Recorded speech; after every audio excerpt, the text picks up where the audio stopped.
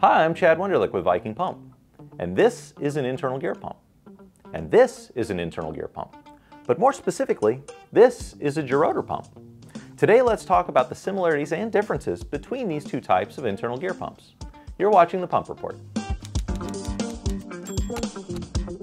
In past pump reports, we've already talked about the internal gear pump, its operation, benefits, and common applications. But in each example, we usually talk about the traditional internal gear pump, with a rotor, idler, and crescent. But Viking Pump also manufactures another type of internal gear pump, this time without a crescent. It's still a type of internal gear pump with its gear within a gear design, but these pumps are more commonly referred to as gerotor pumps. Unlike a traditional internal gear pump where the outer rotor gear is the driver, a gerotor is driven by the inner pumping element. It has one fewer tooth than the outer element, creating the offset and pumping cavities. Basic operation is the same.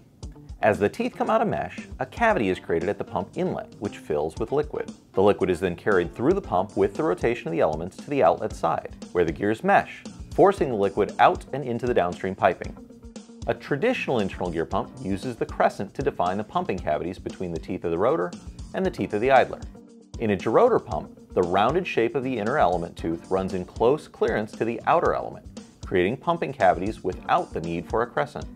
Viking gerotor pumps offer an economical, low-flow option for applications like hot cooking oil filtration or lube oil circulation. So while all gerotor pumps are internal gear pumps, not all internal gear pumps are gerotor pumps. To learn more about gerotor pumps or to view other pump reports, please visit our website at vikingpump.com.